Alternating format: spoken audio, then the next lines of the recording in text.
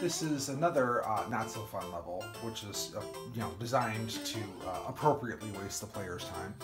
Um, it's called uh, Luigi Swimming Practice, and the whole point is you have to follow that um, you have to follow that uh, that ball, the spike ball on top, all the way through the level, just kind of sitting there on the bottom the entire time,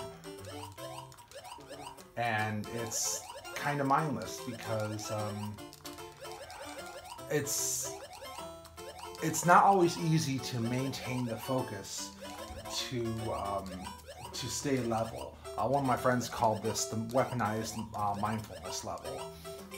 And um, there's a few obstacles here, mostly for you. You have a hammer brother here. You have, um, uh, let's see what else. You also have one of these um, uh, conveyors up here that changes direction and rapidly uh, pushes the ball away from you.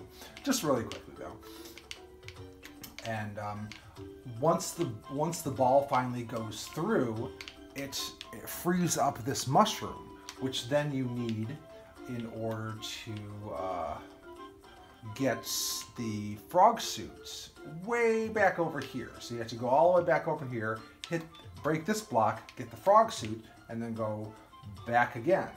So if you didn't uh, get rid of the various enemies that were through here, well, the frog suit might make that a little bit difficult. So a few surprises there. But um, it's mostly a mild troll, but it just really wastes the player's time.